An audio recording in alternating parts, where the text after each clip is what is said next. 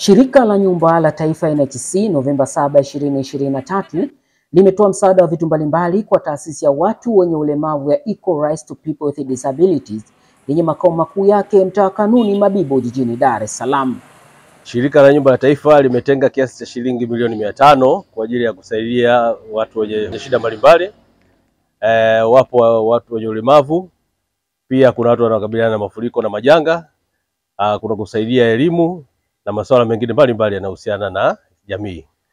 Leo hii tumekuja hapa Madoto Burahati kwa ajili ya kuweza kutoa vifaa saidizi mbalimbali mbali, ili kuweza kuwawezesha ndugu zetu wasiojiweza kuweza kuwafanya nao waweze kushughulika na shughuli zao mbalimbali. Vifaa hivi ni vile vinavyowezesha kutembea na mafuta ya sunblock lotion ambayo ni kwa ajili ya ku, eh, kuzuia mionzi ya jua, na vifaa vyote hivi vimeletwa Shirika la Nyumba la Taifa ikiwa ni sehemu ya kutekeleza sera ya huduma kwa jamii.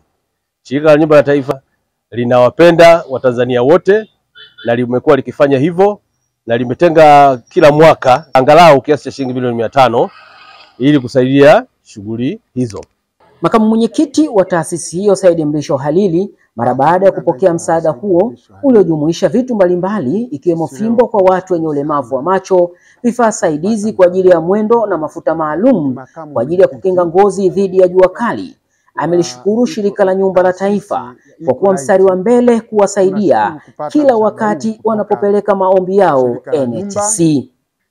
Tunashukuru kupata msaada huu kutoka Shirika la Nyumba, tena tunashukuru sana sana, na tunawaambia sio mara ya kwanza au ya pili kutusaidiwa na shirika hili, na tunawaomba wengine wajitokeze, sio wasubiri wakati wa sikukuu au wakati wa mfungo mwezi wa Ramadhani au wakati wa Christmas kuja kutusaidia.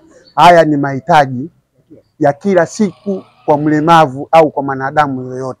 Kwa hiyo sisi tunawashukuru sana Shirika la Nyumba, tunashukuru sana sana kwa msaada huu tuliopata.